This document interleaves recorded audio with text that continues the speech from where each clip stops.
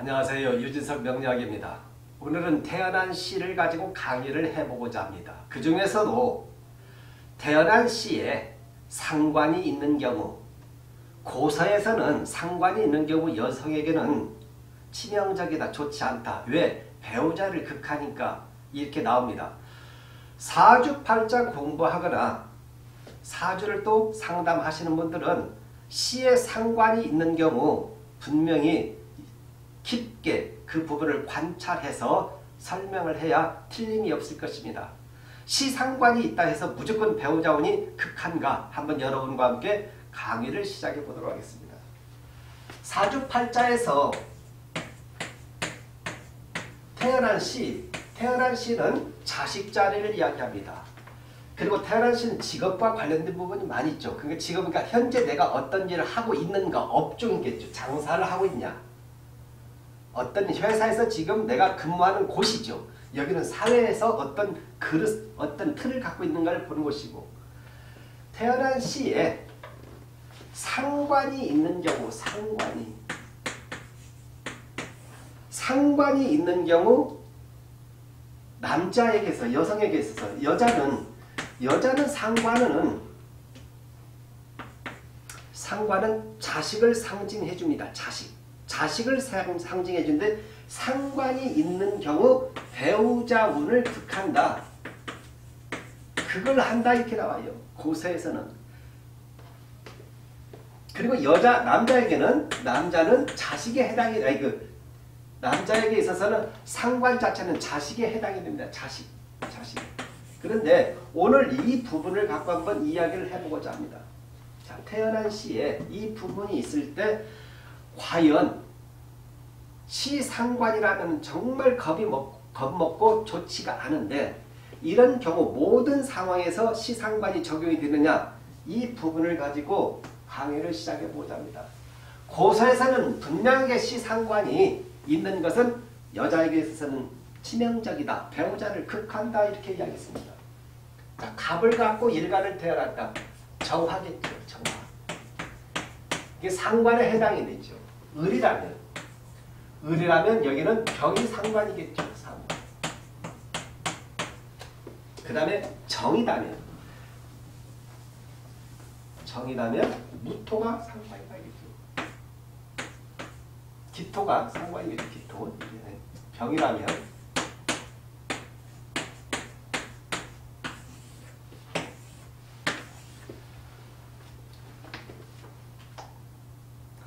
다 지금 일간에서 보면 다 상관입니다. 상관, 상관, 상관.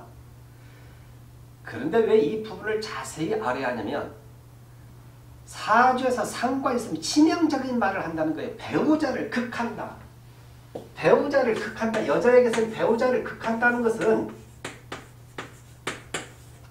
이혼이나 사별을 이야기해 주겠죠. 이혼이나 사혼, 사별. 그러니까 굉장히 이것은 무서운 말이기 때문에 과연 이 부분을 지금도 모든 사주에서 이런 부분이 이야기가 오가는데 법처럼 오가는데 공부를 할수록 오히려 시상과는 좋지 않게 때리는데 이게 과연 모든 사람에게 적용이 되는가? 깊게 고세에서는 깊게 여기에 나와지 않고 그냥 시상관이면 배우자를 극한다. 여성에게는 좋지가 않다. 그래서 궁합 볼 때 시상관을 꺼려라 선택하지 말으라 이렇게 나옵니다. 그런데 제가 상담을 하고 수없이 데이터를 내보니까 간목에게 있어 여자라면 여성이라면 경금과 경과 신이 관에 해당이 되겠죠. 얘는 편관입니다. 편관. 얘는 정관이고 간목에게 있어 신 자체가 정관 남편이겠죠. 자 그러면 이 간목이 정화가 시에 상과 있으면 시 상과는 중말년을 이야기합니다. 중말년에 이혼한다 이렇게 보겠죠. 그렇다고 중말년에 이혼하는 것도 아니고 일찍 이혼하는 경우도 있습니다. 그런데 시에 상관이 있으면 자식 자리에 간목에게 있어 정화는 자식입니다. 을은 자식이에요. 여자에게는 다 자식. 자식이 딱 천간에 올라와 있는데 시에 올라와 있는데 이 상관이 정관을 극한다는 걸 이야기해요. 정관을 극해요. 감, 아니, 정화는, 정화는 신금이 천간에 떠오르는 걸 가장 싫어합니다. 그냥 녹여요. 형체를 없애 얘는 완성품이거든요. 얘는 거친 거고. 얘는 완성품인데 얘는 살짝만 화기만 누르면 형체에 스크래치를 받는다는 거죠. 좋지 않다는 거죠. 그래서 간목이 정화를 가지고 있을 때 신금 정관이 두는 꺼리기 때문에 이런 경우 자식을 낳고 자식 낳고 자식으로 인해서 부부싸움이 많이 일어난다 이렇게 설명할 수가 있겠죠. 왜?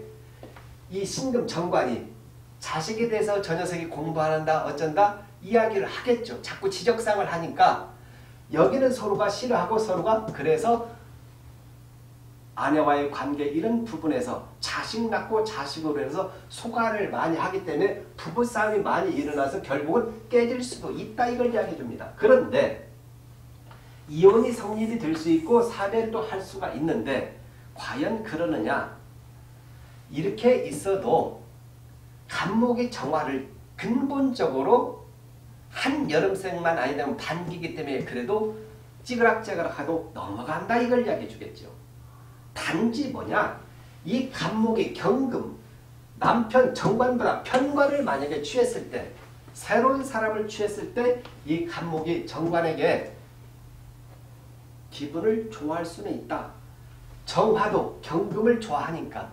자 그런데 이런 경우는 어떻게 보냐 이런 경우는 을목에서 경 자체가 정관이고 신이 편관인데 이게 정관, 편관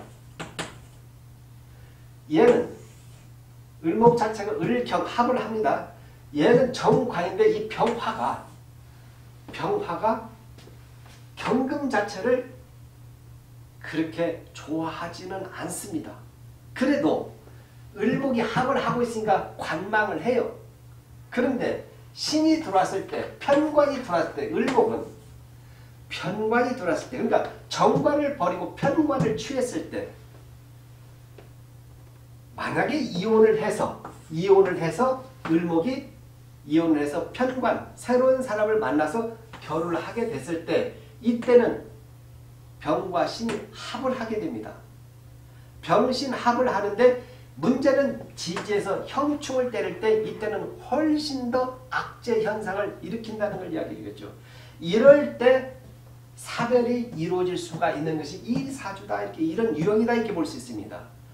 합해놓고 때려버리면 사별로 갈 수가 있다 이걸 이야기해 주죠. 그러니까 꼼짝없이 좋지가 않은 경우는 이런 경우 그러니까 이 경우에서는 찌그락찌그락하고 살고 바람을 피울 수는 있고 그러면서 가나 이 경우는 만약에 새로운 사람을 만나서 갔을 때 오히려 좋지가 않은 경우가 이 유형에 속한다 이걸 이야기해 주겠죠.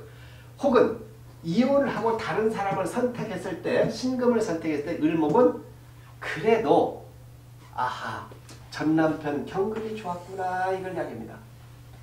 나에게 있어서 오히려 경금이 훨씬 더 나았다. 재혼하고 후회하는 유형이다 이렇게 설명할 수가 있습니다. 시에 대해서 있다. 시에 상관이 있을 때 고서에서는 무조건 배우자와의 이혼이나 아니면 사별하거나 여하튼 좋지 않게 보는데 이 부분을 이제는 제대로 파악해서 아 이 부부가 이혼하겠구나. 아 여기는 찌그락찌그락 하면서 계속 나가겠구나. 아니면 새로운 사람을 찾고 바람을 피우려고 하겠구나. 여기는 오히려 아 사별 아니 새로운 사람을 만나서 잘못하면 대운의 흐름에서 잘못하면 사별로 갈 수 있겠구나. 이때 이 부분은 적용이 될 수 있겠구나 이걸 알수 있다는 것이죠. 그래서 사주 설명을 할 때 이혼 문제가 왔을 때 이런 경우는 아 좋지가 않으니까 잘못하면 좋지 않으니까 그래도 남편이 괜찮습니다. 이렇게 나가야겠죠. 이혼하지 말고 그래도 가라. 이런 경우는 새로운 사람을 만난다면 그것은 인정을 해줄 수 있겠죠. 그러나 이런 경우는 좋지가 않다 이걸 얘기합니다. 그 다음에 이 병화 일간을 갖고 있는데 얘는 임수죠. 임과 개에 해당이 되겠죠. 얘는 편관이죠. 편관. 얘는 정관이고 이 개수가 들어올 때 정관인데 병화에게 있어서 기토를 갖고 있는데 자식이고 여기에 기토를 갖고 있는데 개수가 들어오면 습하고 습하니까 얘를 늘 힘들게를 만들겠죠. 그러니까 남편 결혼하고 난 다음에 자식도 힘들게 하고 남편도 힘들게 하고 이렇게 유형을 볼 수 있겠지. 그래서 병화가 나죽겠네 하겠지. 왜? 얘는 습하니까 누설아주 힘을 뺏어가겠죠. 얘는 비가 내리니까 병화가 자기 역할을 못하겠죠. 한 여름생 화기가 많은 기운이다면 이때는 아주 청량제 역할을 하는데 만약에 이런 경우 오행상 금과 수가 많이 있어 습하고 냉한 경우에 이 사주다면 이런 유형이다면 이 병화는 나죽겠네 하겠죠. 아, 너무 힘들다. 자식 때문에 힘들고 남편 때문에 힘들고. 그러면 이 병화가 인수를 선택을 하느냐? 자, 인수를 선택을 해야겠죠. 그러면 다른 남자를 만나서 편관을 선택해서 가는 게 어떠냐? 이런 경우가 바로 여기에 전체적으로 좀 적용이 된다 이걸 이야기해 주겠죠. 이렇게 해도 저렇게 해도 고통받을 수 있는 기운이 너무 강하다는 걸 이야기해 줍니다. 그래서 같은 시상관이어도 시의 상관이 있어도 급이 있더라. 격이 있더라. 정말 그래도 이 정도는 상급이고 얘는 그래도 중급이고 얘는 하급이더라 이걸 이야기해 주죠. 하급. 이 경우를 여기에서 설명하지 않았느냐 이렇게 설명하는 거죠. 그런데 공통분모 하나는 있더라. 공통분모가 뭐냐. 시에 상관이 있는 경우, 시상관이 있는 경우는 어쨌든 시상관은 관을 극한다. 관을 극하기 때문에 남자는 자식 문제, 나중에 말년에 직장 문제, 그리고 자기 사업적인 문제에서 크게 곤욕을 치를 수 있는 것이고 시상관은 여자에게서 시상관은 어쨌든 자식을 낳고 난 다음에 배우자와의 관계에서 관계, 가 서먹서먹해질 수 있다. 그 원인이 뭐냐? 자식으로 인해서 배우자와 싸우고 대립을 하기 때문에 결국 그 발달은 자식 문제로 해서 이뤄진다 이렇게 볼 수 있겠죠. 그리고 시상관이 있는 것은 시상관이 있는 것은 사주에서 상담을 할 때 다시 이야기하지만은 이 사주의 대운의 흐름에서 대운의 흐름에서 일간 자체에 힘이 있을 경우는 일간에 힘이 있을 경우에는 능히 그것을 극복하고 나가나 일간이 허하고 약할 때는 질병으로 연결이 된다. 질병. 일간이 질병으로 연결된다는 거죠. 그래서 크게 질병을 얻게 된다. 큰 질병을 얻을 수 있다. 이걸 이야기합니다.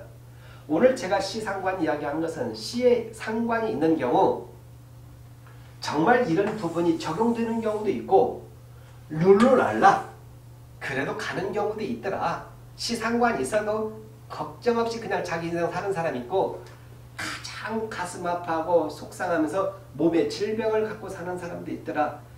그래서 이런 부분이 선명하게 설명이 되줘야 한다 이걸 이야기하는 것입니다. 저는 이렇게 있는 경우 만약에 사주에서 병화가 습하고 냉하다 습하고 냉하다 했을 때 병, 시, 시 상관이 있을 때는 이것도 저것도 아니다 이런 얘기죠. 저는 뭐냐 이런 경우는 재혼을 하고자 다른 사람을 만나보자면 노 합니다. 아닙니다. 힘들다. 다른 사람 만나도 힘드니까 오히려 내 인생 내 스스로 본인을 위해서 살아라 이걸 이야기죠. 본인을 위해서.